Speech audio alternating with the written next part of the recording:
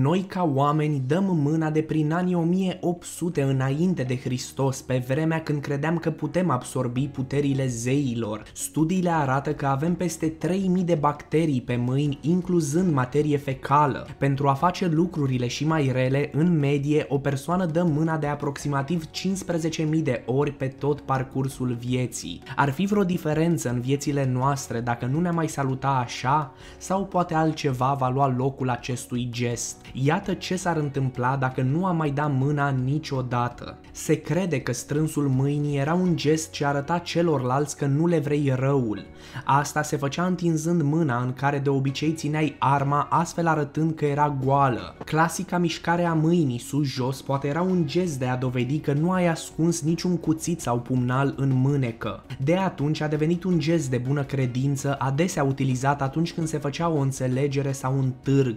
Dar acesta este doar începutul. Popoarele din întreaga lume au diferite variante de a da mâna, dar toate implică un contact apropiat ce nu este foarte bun pentru sănătatea noastră. Mâinile noastre sunt mari purtătoare de bacterii sau virusuri, iar când dăm mâna cu cineva, răspândim acești dăunători cu cei cu care ne salutăm. Dar să spunem că abia ce te-ai spălat pe mâini, cu toate că asta nu înseamnă prea mult dacă cealaltă persoană nu s-a spălat. Transmiterea răcelilor și a gripelor a fost de multe ori asociată cu acest salut, iar cu cât este mai lung salutul, cu atât mai mari șansele să te contaminezi. Majoritatea doctorilor sunt de acord că dacă nu am mai da mâna ar fi un beneficiu mare pentru noi toți. Dar oare este atât de ușor? Nu doar eliminăm un gest, ci un întreg concept înrădăcinat în cultura noastră timp de secole, chiar milenii. Trebuie să găsim un înlocuitor. Dacă am fi trăit într-o lume unde după ce ai încheiat o afacere de miliarde de euro, toată lumea ar bate palma. Vestea bună este că dacă bați palma, transmiți de două ori mai puține bacterii decât un salut normal, iar dacă dai pumn în pumn, transmiți și mai puțin. Dar dacă saluturile noastre nu ar implica niciun contact fizic, dacă pe viitor doar ne-am scoate pălăriile pentru un salut sau să readucem semnul păcii popular în anii 60, ne-am putea înclina, face cu mâna sau chiar să facem ritualul Namaste. Dacă ar fi după noi, am folosit salutul din Star Trek. Deci ne-am putea schimba obiceiurile? Desigur. Cercetătorii de la Universitatea Carleton din Ottawa spun că trăim în niște vremuri în care ar trebui să fim foarte atenți și precauți la boli, o cultură pandemică după spusele lor.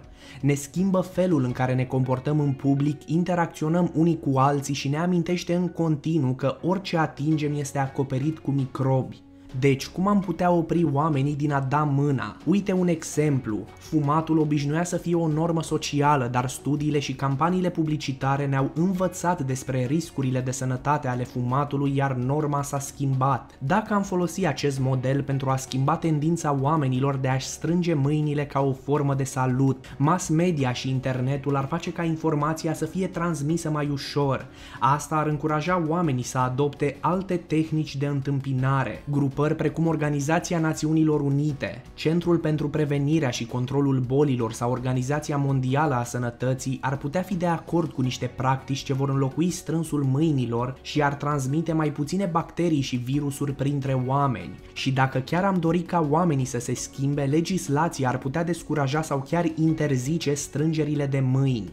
Suntem conștienți că trebuie să existe o cale de a ne lega unii de alții. Contactul fizic al strângerilor de mâini este folosit în tot felul de situații, dar sunt și alte metode de a relaționa. Dacă nu am mai dat mâna niciodată, ar fi mai sigur pentru toți, cu toate că există mai multe metode de a transmite microbi în afară de asta. Acesta a fost episodul nostru. Dacă ți-a plăcut, nu ezita să ne dai un like și să apeși pe butonul de subscribe. O zi superbă vă doresc tuturor!